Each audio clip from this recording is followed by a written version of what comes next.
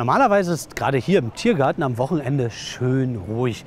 Die Leute genießen die Sonne, lassen den Sommer ausklingen. Aber heute, am Samstag, dem 29. August, ist hier alles anders. Denn es haben sich mehrere tausend Menschen vor dem Brandenburger Tor versammelt, um gegen die Corona-Maßnahmen äh, zu demonstrieren. Das sind nicht nur einfache Demonstranten.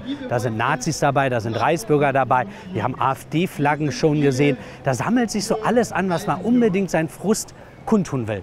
Auf der anderen Seite, am Bebelplatz, sammeln sich aktuell die Gegendemonstranten. Also, wenn die einen gegen die Corona-Maßnahmen sind, sind die anderen quasi dafür. Aber genau das wollen wir heute einmal rausfinden. Und deswegen gehe ich mit Ihnen heute rein, mitten in die Demonstration zwischen die Nazis und den ganzen Esoterikern und habe mir auch eine passende Maske geholt aus dem Jüdischen Museum, damit ich und Sie vor Corona auf jeden Fall geschützt sind. Auch unser Mikrofon ist ordentlich gewappnet und jetzt gucken wir uns das Ganze mal an. Ein bisschen Angst habe ich ja.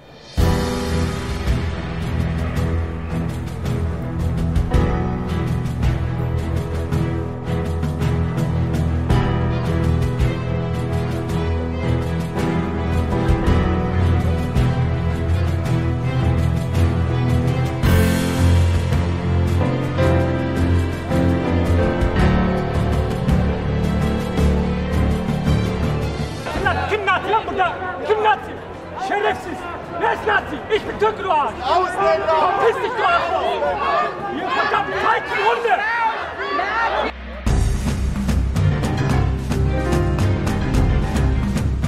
So, für was seid ihr heute hier? um dich zu unterstützen für Recht und Freiheit. Gegen Spahn, gegen Merkel und gegen die Lügenpresse. Und die Systempresse ist auch dabei. Wir sind die Demokraten. Wir sind das Herz und wir sind die Liebe und wir sind die Kraft. Es ist keinerlei Gewalt hier. Meldet es euch der Systempresse. Meldet es. Hier sind keine aggressiven Menschen. Nicht ein einziger. Nehmt bitte eure Kinder auf die Schultern und, und macht irgendwas mit ihnen, damit ihnen nicht langweilig wird. Und bitte lasst euch nicht trennen von ihnen. Wer ist hier? Verrückte Spinner oder Menschen, die frei leben wollen? Wer ist hier?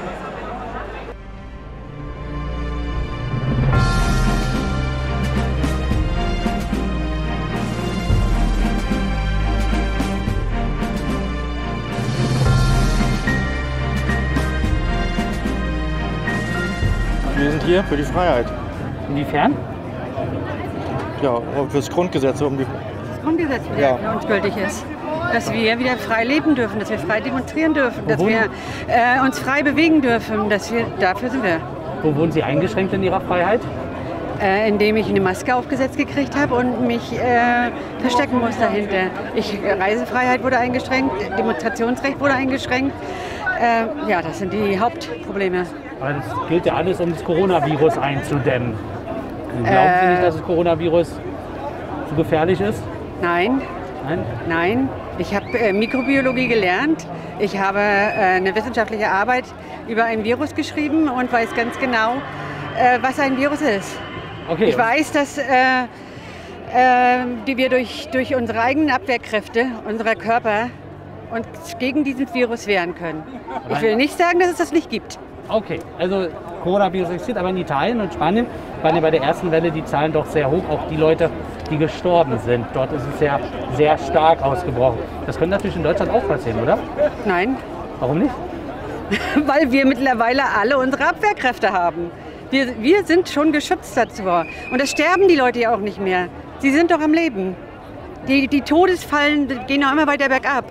Und äh, natürlich, wenn ich äh, die doppelte Menge äh, teste, dass ich dann auch die doppelte Menge an, an positiven Fällen habe. Aber das heißt auch nicht, dass wir krank sind und dass wir sterben. Sie sind extra aus Stuttgart heute nach Berlin gekommen. Warum sind Sie hier? Wir stehen hier für unsere Freiheit, weil man die uns genommen hat. Inwiefern hat man die Ihnen genommen? Wir dürfen nicht mehr in Urlaub fahren, wo wir hin konnten. Wir dürfen unsere Meinung nicht mehr sagen. Unsere Kinder müssen Masken tragen. Wir haben Angst, dass sie geimpft werden und das wird passieren. Wir haben Angst um unsere Kinder. Okay, aber es ist ja alles eigentlich da, um das Coronavirus äh, einzudämmen. Ja, wer das Märchen glaubt, der soll es weiter glauben. Also Sie glauben nicht an das Nein, Virus? ich glaube also es nicht existiert dran. Gar nicht. Nein, Das Virus gibt es. Ja. Ja, aber, es nicht ist eigentlich in nicht so schlimm, wie, wie es gesagt wird. Warum ist denn eigentlich Querdenken 711 genau nach Berlin gekommen und hat nicht die Demonstration in Stuttgart gemacht? Äh, Die äh, sind ja überall in, in ganz Deutschland, in verschiedenen Städten. In Stuttgart und hier in Berlin äh, dann sind verschiedene Einzelaktionen, also in anderen Städten.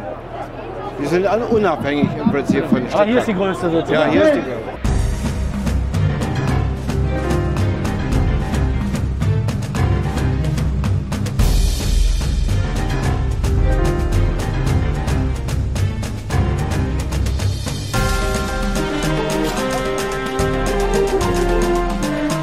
Jetzt auf dem Bahnhof Friedrichstraße und hier oben kann ich die Maske abnehmen, denn die Abstandsregeln können hier wunderbar eingehalten werden.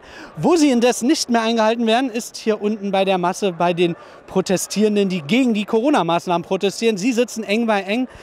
Ja, was gerade Fakt ist, die Polizei hat den Zug, der eigentlich schon längst losgehen sollte, aufgehalten, weil die Abstände nicht eingehalten wurden. Jetzt ist es an der Zeit, dass die Leute eigentlich Masken aufsetzen sollen. Aber naja, sie sind ja gegen Masken, deswegen werden sie keine Maske natürlich aufsetzen.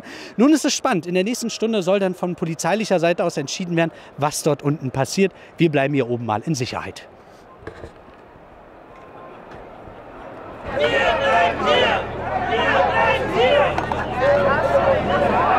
Die Faschisten!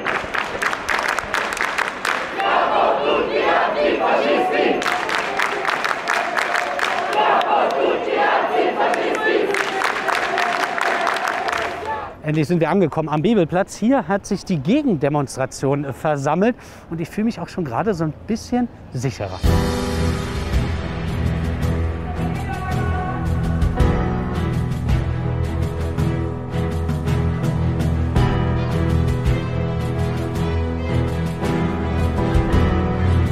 Aber mir persönlich ist wichtiger, gegen die Corona-Verleugnung äh, unterwegs zu sein. Also mich beängstigt es, dass man ein Phänomen, was jetzt die Welt so beeinträchtigt hat, äh, so zu verleugnen, das macht mir richtig Angst. Und deshalb will ich heute auf alle Fälle hier sein und würde mich freuen, aber ich habe jetzt selber kein Plakat, wenn auch Plakate wären gegen die Verleugnung. Sie haben eine SPD-Flagge, Sie setzen hier also ein politisches Zeichen. Warum ist es Ihnen wichtig, heute hier zu sein? Naja, da laufen Nazis mit äh, und versuchen die aktuelle Krisensituation der Gesellschaft zu missbrauchen für ihre Zwecke und da muss man sich gegenstellen. Also für mich ist das ganz klar. Sind denn da nur Nazis Ihrer Meinung nach? Oder? Nee, aber Nazis und deren Mitläufer. Ne? Also Leute lassen, laufen da mit und äh, sehen reich Kriegsflaggen und stellen sich nicht dagegen. Das ist halt immer so ein Abgrenzungsthema. Ähm, aus meiner Sicht äh, eindeutig, dass sie da sozusagen den Nazis zumindest sag ich mal, den Weg bereiten oder sie nicht deutlich, sich nicht deutlich davon abgrenzen und da muss man sich gegenstellen. Die Juso ist auch hier. Warum ist euch wichtig, heute hier zu sein? weil wir den Nazis, den Corona-LeugnerInnen und den Rassistinnen nicht die Straße überlassen wollen. Wir wollen für die Demokratie einstehen und auch zeigen, dass es eben eine andere Meinung gibt, außer die, die gerade vertreten wird von den Leuten da hinten. Jetzt sieht man ja hier viel Antifa, viele Leute, die gegen Nazis hier demonstrieren. Klar, Nazis sind dort auch viele mit dabei. ich mach's mal weg. Ähm, aber es ist auch genau wichtig, auch gegen die Corona-Leugner wahrscheinlich auf die Straße zu gehen. Was macht ihr dafür? Wir ver verbreiten natürlich auch auf den sozialen Medien unsere Meinung und wir versuchen auch gegen diese Corona-LeugnerInnen vorzugehen, indem wir halt Sachen nicht einfach so stehen lassen, gerade im sozialen Raum äh, online, aber eben auch heute hier mit Leuten, die ähm, eine andere Meinung haben, kann man natürlich reden, aber wir sehen ja gerade, dass die Fronten verhärtet sind. Da hilft tatsächlich nur Präsenz zeigen, aber auch im Bekanntenkreis klar äh, zu sagen, wofür man steht und vielleicht mal Dinge zu entkräften. Auch für Knutschen gegen Recht. Aber Knutschen ist doch gerade nicht so angebracht in der Corona-Krise, oder? Deswegen ja hier mit Maske. Ach, mit Maske knutschen, Ja, ja. das geht. Und trotz auch dem, Naja, halt einfach Liebe zeigen und Menschen. Alles klar, wie wichtig ist es euch, heute hier zu sein? Super wichtig. Also ist eine Verantwortung, die wir haben. So. Da laufen ja aber heute auch nicht nur Nazis mit, sondern auch viele, die Corona leugnen. Ja, aber in dem Moment, wo sie neben Nazis laufen, ist es schwierig.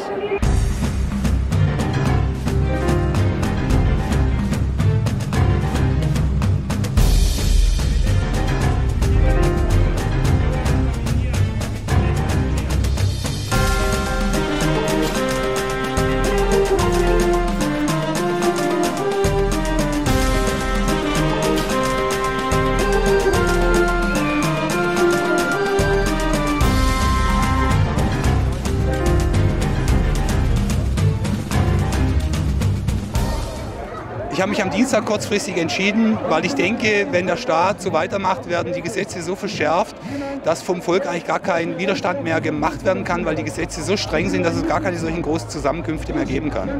In welchen Gesetzen sprichst du da? Die machen sich die Gesetze, wie sie es brauchen. Es ist ja nur eine repräsentative Demokratie, machen eigentlich, was sie wollen. Sie sagen, wir sind gewählt, wir dürfen alles, wir haben einen Freischein. Okay, aber in der Demokratie hat man ja immer noch Wahlrecht. Also Schiller hat mal gesagt, die Demokratie ist die Herrschaft der Dummen. Ich glaube nicht an die Demokratie. Und auch die alten Griechen haben schon vor zweieinhalbtausend Jahren entdeckt, dass die Demokratie nicht funktioniert. Auch damals haben wir schon erkannt, dass sie sich Wählerstimmen kaufen. Und sie haben kein eigenes Geld, sie nehmen das Geld vom Volk, um sich die Wählerstimmen zu kaufen. Du hast hier gar keine Wahl. Ich kann nicht Nein sagen. Ich kann nur wählen zwischen A, B, C und D. Ich kann nicht Nein sagen, weil ich sage, das ist ein komplett korruptes System, ein kompletter Betrug, Rechtsbetrug. Was wäre das Optimum? Das ist schwierig mit diesen Menschen. Der Mensch ist ziemlich liederlich. Der Christusweg, ja, das wäre der wahre Weg. Aber es gibt so viele kranke Menschen. Sie haben ein komplett römisches System, römische Kirche, römische Gesetze. Und die Römer waren die, die Perfektionisten des Sklavensystems. Über die Ausweispapiere kannst du erkennen, dass du ein Sklave bist. Capitis, Deminutio, Maxima, Minima Media. Und wir sind Kriegsgefangene, wir haben gar keine Rechte. Und Kriegsgefangene können auch nichts besitzen. Und das findest du sogar im BGB, wenn du eine Eintragung im Grundbuch hast oder für deine Immobilie. Das ist nur die Vermutung, dass du der Eigentümer bist. Hier laufen komplette Rechtsbetrügereien. Das ist eine Verarschung nach Strich und Faden. Inwiefern sind wir Sklaven? Also das sind Kriegsgefangene. Du merkst doch hier schon Schreien nach dem Friedensvertrag. Das impliziert, dass hier Besatzungsrecht gilt. Und das heißt, es sind Kriegsgefangene und Kriegsgefangene dürfen versklavt werden. Also ganz altes Recht, das ist schon so alt wie die Menschheit. Dass man Kriegsgefangene ausbeutet. Wir sind jetzt ein bisschen abseits der Demonstration im Tiergarten. Ja, wir haben viele neue Eindrücke gesammelt. Ich hoffe, wir konnten Ihnen auch ganz viel zeigen, was hier passiert ist. Es war eigentlich auch sehr spannend zu sehen, für was die Anti-Corona-Demo-Seite ist und für was die gegen Anti-Corona-Gegenseite ist. Und zwar die Gegendemonstrationen richteten sich hauptsächlich gegen Nazis und die Anti-Corona-Demo ja, da waren ja ganz viele Theorien dabei. Auf der einen Seite hat man die Reichsbürger, die unbedingt einen Friedensvertrag haben wollen, weil wir ja alles Kriegsgefangene sind und Deutschland eigentlich eine Firma ist und ja fremd regiert wird und wir sind gar nicht souverän. Dann haben wir die Esoteriker. Für was die standen, habe ich nicht ganz so doll rausbekommen. Die waren einfach Friede, Freude, Eierkuchen, Hippie-Bewegung. Und wir haben auch noch die Corona-Leugner gehabt, die sagen, Corona existiere gar nicht. Und ja, wir Presse, wir lügen sie nur an, indem wir falsche Zahlen auf den Markt geben. Ganz deutlich war bei der Gegendemonstration ja zu hören, dass es sich gegen Nazis richtet, die ja mitlaufen bei der Anti-Corona-Demonstration. Genau diese Frage habe ich auch die Demonstranten von Querdenken gefragt. Leider habe ich keinen vor die Kamera bekommen. Aber was uns gesagt wurde, dass die Nazis und Neonazi-Gruppierungen alle gekauft sind. Die werden bezahlt, dass sie hier mitlaufen. Von wem sie bezahlt werden, wurde uns nicht gesagt. Ja, insgesamt interessanter Eindruck. Was noch interessanter sein wird auf jeden Fall, sind die Corona-Zahlen in 14 Tagen. Wie werden die sich entwickeln? Werden die nach oben schellen aufgrund dieser Demonstration? Wird es dadurch vielleicht auch zu einem zweiten Wirtschaftslockdown kommen? Denn dann wird der ein oder andere, der heute hier mitgelaufen ist, wahrscheinlich auch arbeitslos werden. All diese Fragen stehen weiter in meinem Raum. Ich werde jetzt auf jeden Fall weiter recherchieren, wie das denn so ist, wenn man mit Nazis zusammen auf einer Kundgebung läuft, also mit ihnen nebeneinander läuft. Ist man ihnen dann eigentlich näher, als wenn man gegen sie läuft? Das war's von uns. Ich wünsche Ihnen einen schönen Abend und bis zum nächsten Mal.